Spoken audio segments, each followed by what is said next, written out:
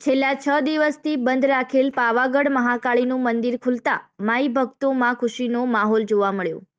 પાવાગઢ મંદિરનું કામ ચાલુ હોવાથી છ દિવસ માટે મહાકાળી માતાજીના દર્શન માટે, દર્શનાર્થીઓ માટે નિજ મંદિર બંધ રાખવામાં આવ્યું હતું.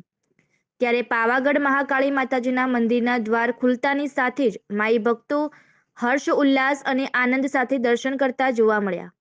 રવિવારે રજાનો દિવસ હોવાથી દૂર દૂરથી માઈ ભક્તો મોટી સંખ્યામાં આવતા હોય છે. અને મા મહાકાળીના ચરણોમાં શીશ ચૂકવી પોતાની મનોકામના પૂર્ણ કરવાની માનતા માનતા હોય છે.